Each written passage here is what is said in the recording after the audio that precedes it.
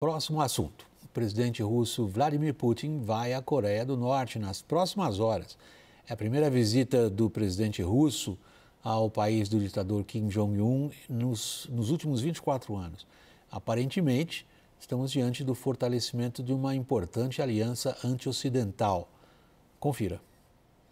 A aproximação de duas nações anti-ocidentais e com forte poderio nuclear levanta especulações. O último encontro entre os dois líderes ocorreu em setembro do ano passado, na Rússia, quando Kim Jong-un visitou instalações espaciais e militares. Dias antes da confirmação da visita, o Kremlin prometeu promover cooperação em todas as áreas com os norte-coreanos. Segundo o governo russo, Putin deve assinar um acordo de parceria de segurança mútua, mas nada direcionado a algum país específico. A Rússia precisa de mais recursos para a guerra na Ucrânia, principalmente munições. Coreia do Sul e Estados Unidos acusam a Coreia do Norte de fornecer ajuda militar ao Kremlin nos últimos meses. Isolado politicamente do mundo, Kim Jong-un vê na Rússia uma alternativa para a falta de parceiros comerciais e de transferência de tecnologia. O que também interessa à Rússia, que desde a invasão na Ucrânia dribla sanções, formando uma espécie de aliança anti-Ocidente com países como Irã e China. Rússia e China impediram as tentativas americanas de impor novas sanções da ONU aos testes balísticos proibidos da Coreia do Norte. Em entrevista ao jornal britânico The Telegraph, o secretário-geral da OTAN, Jens Stoltenberg, disse que a Aliança Militar Ocidental discute aumentar a disponibilidade de seu arsenal nuclear em resposta às repetidas ameaças da Rússia. Stoltenberg não deu detalhes operacionais, mas afirmou que o grupo avalia essas questões. Disse ainda que o objetivo da OTAN é um mundo sem armas nucleares, mas que enquanto elas existirem, a OTAN vai continuar sendo uma aliança nuclear.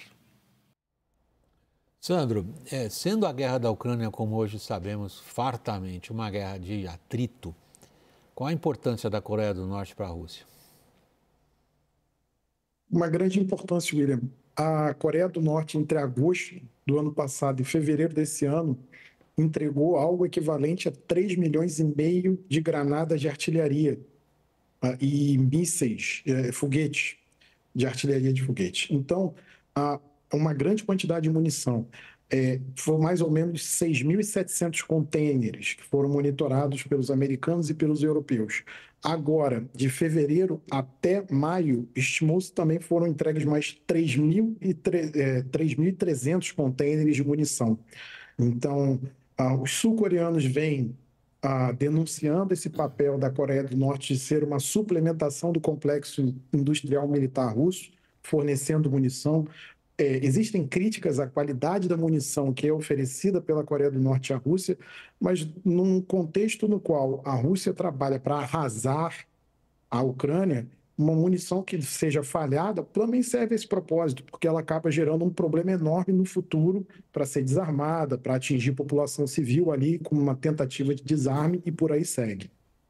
Dorival, uma das, uma das contribuições, entre aspas, do, do ditador norte-coreano ao Vladimir Putin é um tipo de míssil tático que aparentemente tem alta precisão, é difícil de ser abatido e os norte-coreanos conseguiram desenvolver.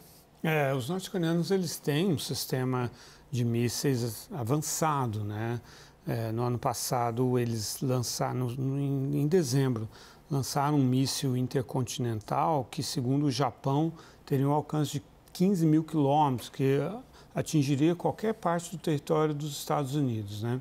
Mas é claro, é, é o que é mais é, crítico realmente é, são é essa, esse grande volume de, de, munição de artilharia que é importante para, para a Rússia levar adiante é, essa, essa, pôr em prática essa doutrina deles, né, de, de uma saturação constante ali na, na no, no front e também esses ataques com mísseis e aí sim foguetes também para tentar destruir a infraestrutura é, ucraniana. Ela tem feito isso com tanta intensidade que tem reduzido os estoques dela, que são estoques gigantescos formados desde a União Soviética. Né?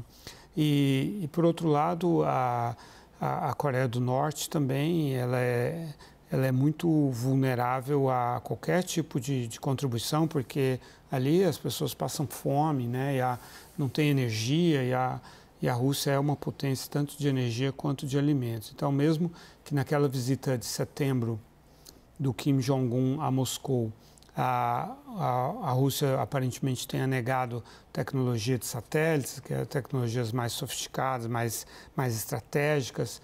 É, qualquer coisa que a Rússia possa oferecer à Coreia do Norte é muito bem-vinda para reduzir a dependência umbilical que a Coreia do Norte tem em relação à China. Né? Sandro, trazendo nossa conversa agora para a segunda parte da, da reportagem que nós acabamos de exibir. O secretário-geral da OTAN usa um vocabulário que há algum tempo a gente não registra, que é o da expansão de arsenais nucleares. Que tipo é um tipo de resposta a Vladimir Putin? Não é só, William, um tipo de resposta ao Putin. A gente está vendo um crescimento e investimento em arsenais nucleares. É, a gente tem uma estimativa do CIPRE, salvo engano, os Estados Unidos investiram 51 bilhões de dólares na renovação dos arsenais nucleares. Os chineses estão expandindo seus arsenais, então o valor seria algo na cifra de 23,8 bilhões de dólares, e os russos vêm em terceiro com uma cifra que seria algo em torno de 13,6 bilhões de dólares. Então, a cartada nuclear, ela não tem sido uma coisa uh, apenas um mero blefe. A gente tem visto tecnologias no sentido de colocar mísseis mais rápidos, essas tecnologias, os russos têm alardeado muito isso com a ideia do míssil hipersônico, mas os chineses e os americanos também têm buscado desenvolver novas tecnologias em, uma, em, em questão do arsenal nuclear. Então, essa questão da OTAN, isso a gente pode ver agora, é um reforço desses arsenais nucleares europeus, especialmente o britânico e o francês. Lorival, é, no meio disso, você e eu tivemos uma larga experiência cobrindo as, todas as tentativas no período da Guerra Fria de controle. Chamava-se desarmamentos, na verdade era controle de armamentos. Uhum. Nós assistimos às assinaturas desde Gorbachev e Reagan lá atrás, mesmo logo no período depois da queda do Muro de Berlim, quando houve uma série de limitações, tudo isso foi destruído. É. O que nós temos hoje é uma ordem internacional na qual não se verifica, até o presente, qualquer grande iniciativa no sentido de controle disso ao que o Sandro acabou de se referir? Exato, e esse arcabouço ele foi destruído no governo Trump, né? E por ambos, Putin e Trump, e, e, também por não envolver a China. Essa era uma objeção pertinente que o Trump fazia. Né? Quer dizer, bom, a China está ali aumentando o arsenal dela, a gente está aqui controlando o nosso, e, e a, a, Rússia, por sua vez, desenvolvendo outras tecnologias como os mísseis hipersônicos e tal, convencionais, enfim, e, e a gente está reduzindo aqui o nosso poder de dissuasão. Essa era a preocupação é, do Trump. E hoje saiu o dado de que, eu me, eu me lembro que em 22 a China calculava-se que tinha 360 ogivas. Hoje saiu o dado que ela está alcançando 500 ogivas. Né?